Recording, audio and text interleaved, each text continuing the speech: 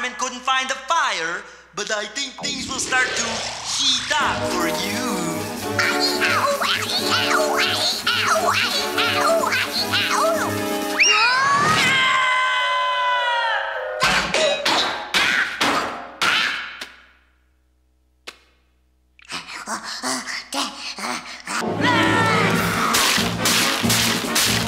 In the Dexter's Lab episode, Trapped with a Vengeance, Dexter actually parodies the movie Die Hard, and some of these sequences, like Dexter walking through the chips, is a direct reference to Die Hard when Bruce Willis is walking uh, walking across uh, broken glass.